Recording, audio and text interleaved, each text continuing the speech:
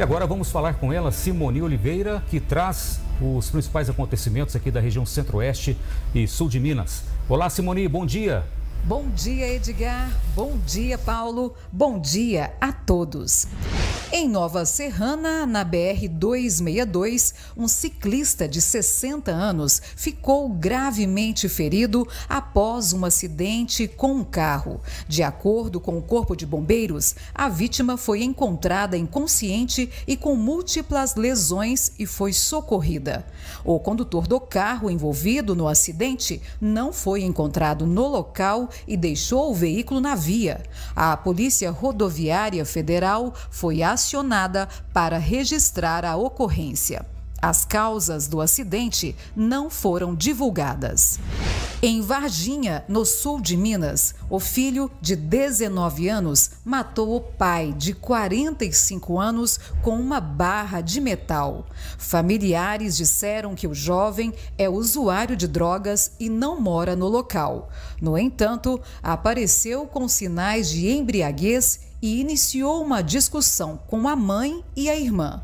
Em seguida, o jovem pegou uma faca e esfaqueou a irmã que estava com o filho no colo na região das pernas. A mãe então tentou intervir e foi esfaqueada no cotovelo.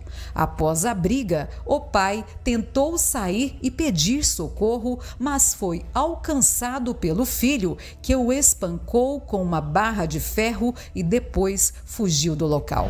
Em Baipendi, bombeiros resgataram dois atletas de Campinas, interior de São Paulo, após eles ficarem perdidos por quase 10 horas na zona rural. De acordo com os militares, a dupla percorria o circuito Caminho dos Anjos entre Airuoca e São Lourenço. As vítimas foram localizadas por volta das 3 horas e 10 minutos em uma área de vegetação fechada, apresentando sinais de hipotermia.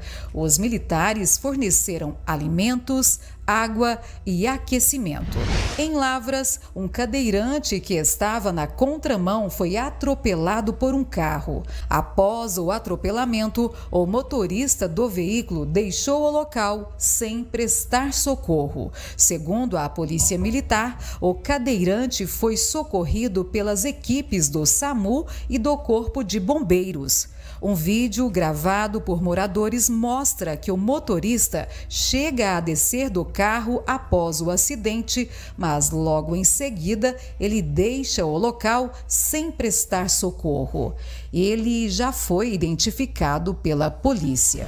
Simone Oliveira para o Jornal da Onda.